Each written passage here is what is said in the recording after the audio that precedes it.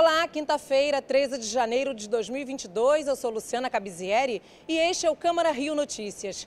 A gente começa essa edição falando de uma lei aprovada aqui na Casa Legislativa que cria a campanha de conscientização sobre o câncer infantil. Maria Vitória nasceu em abril de 2017 e foi diagnosticada com uma anomalia nos rins e meses depois com um tumor benigno e um maligno.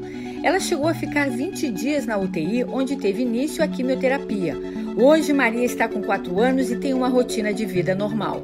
E eles diagnosticaram ela assim que ela nasceu com hidronefrose. É, até os 11 meses ela ficou tratando hidronefrose.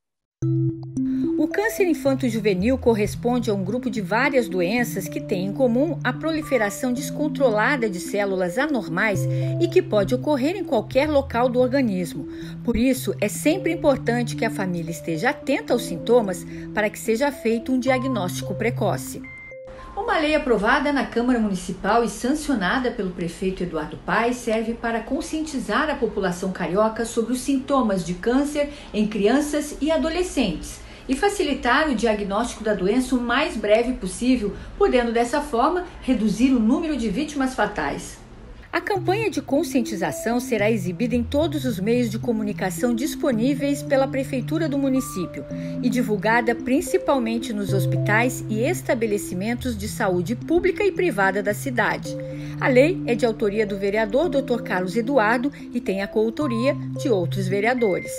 No mundo todo, 200 mil crianças são diagnosticadas todos os anos com câncer. Essa lei visa chamar a atenção de pais e mães sobre sintomas e sinais que podem ser observados para que o diagnóstico seja feito rapidamente.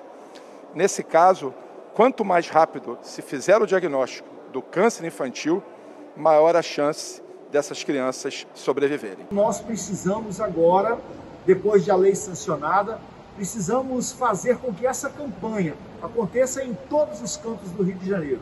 Campanha de conscientização sobre o tratamento do câncer infantil. Campanha importantíssima, fundamental para a saúde de nossas crianças.